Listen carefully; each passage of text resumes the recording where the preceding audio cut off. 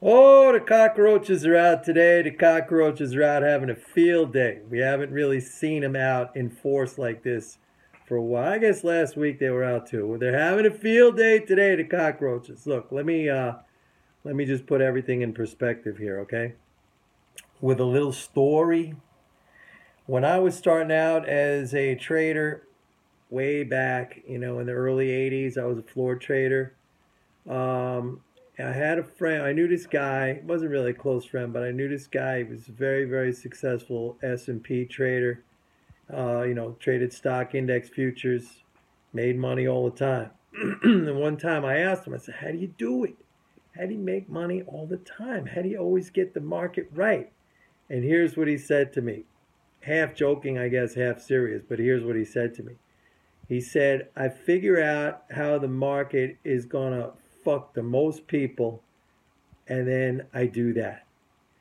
And so think about that comment for a second. Basically, it's what I think a lot of people experience is that for them, if they are beginners or they don't have the right mental game, uh, they're frustrated a lot of times because you know they want the market to be directionally uh, identifiable and it's not. It goes up and down. Sometimes it seems so random. They could have a position on that is a profit one minute and it is a loss the next minute, right? That that uh, speaks to a point that I've been talking about for a long time is the uh, you know the ridiculousness of stops and the implied assumption in there that you know cutting your losses is a good idea because you know that the loss would have continued. You don't know that. Or with a profit, you know you're letting your profits run. Meanwhile, they turn around. And basically, in his comment, that was embodied in his comment, okay, that the market uh, was going to screw the most people it can. And that's the way he traded. He tried to figure that out, right? And this is this kind of randomness, you know, up one day, down the next, looks like it's getting going, and then it reverses, and then it looks like it's getting going the other way. And for a lot of people, uh, it's a very frustrating, challenging experience. And that's what we're having right now. In these times, you really have to step back and, and uh, think what has changed? Has anything changed fundamentally? That would indicate a complete you know reversal of the market that conditions have changed to such a degree that we are going in the opposite direction. And unless you can answer that question definitively yes that conditions have fundamentally changed and now everything is reversing in the opposite direction then you cannot be swayed by these movements. These are just this is just noise okay for example, I said earlier I was buying the dip in the S&P. Well, guess what? It kept on dipping. But, you know, I am uh, aware that sometimes that's what happens. Uh, uh, you know, I try to be as prescient and as accurate as possible at uh, my entries, you know, when I buy and sell, but it's impossible because again, in that in that statement or in that goal, you know, there's you, you got to be careful not to assume that you know the future, that this is the exact bottom or that is the exact top. And I, frankly, I, you know, you you should not let that hinder you from action.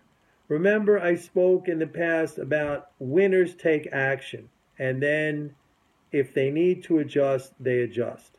I took action. The market pulled back. There is no fundamental change. I look at fiscal flows. All the things that have uh, guided me correctly are still in effect. Now, you could argue, well, you know, you're not paying attention to the rise in uh, bond yields. Well, I am. I'm actually short the bond market, so you can't tell me that. But I have argued in the past that rate hikes are, are actually bullish for the economy, their, their fiscal expansions, their net injections of income. We're talking about a 25 basis point hike in the uh, Fed funds rate in December if that happens. And it, it does look like it might happen. Uh, bond yields are going up. Yes. However, uh, the level of government spending is still very strong. We're in a new fiscal year. So all the conditions that had been in place are still in place. What about Brexit?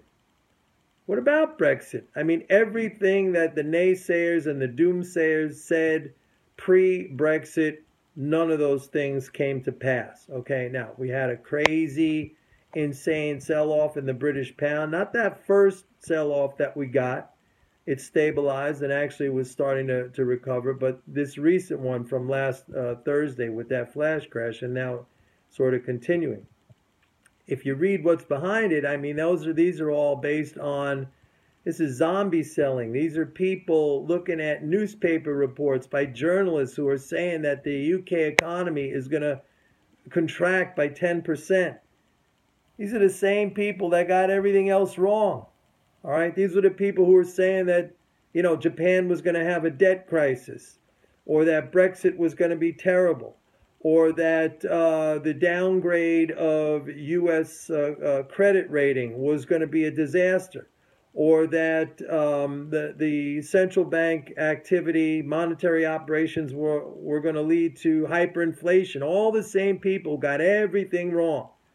Zombies react. They don't learn a lesson.